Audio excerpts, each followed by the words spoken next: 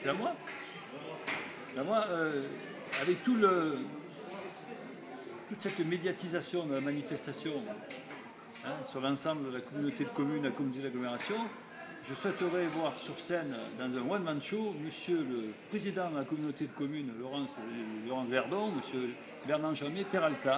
Je souhaiterais qu'il fasse un one-man show.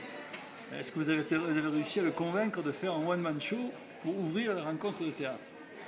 Là vous jouez, là vous jouez un rôle là. Là, là c'est dans le, là c'est, c'est, c'est un, c'est un jeu que vous jouez. Parce que bon, euh, avec toute cette médiatisation, la moindre des choses qu'on peut attendre, c'est que le premier magistrat de notre communauté d'agglomération vienne faire un one-man show sur la scène du théâtre Jean Le Bleu.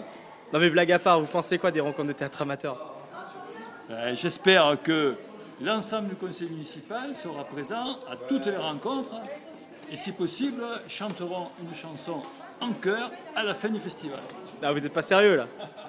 Mais si, je suis très sérieux, puisque c'est une manifestation qui a pour objectif de développer aussi la convivialité. Donc il faut aller jusqu'au bout. Il ne faut pas s'arrêter en chemin.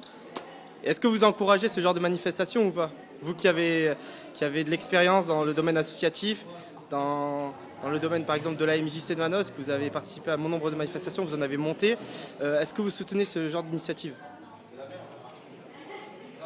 Je pense que l'initiative elle se soutient toute seule. Elle n'a pas besoin du accord de la MPC pour la soutenir. Oui, mais vous représentez quand même. euh, Je un- représente euh, simplement euh, une Comment profession. ça va?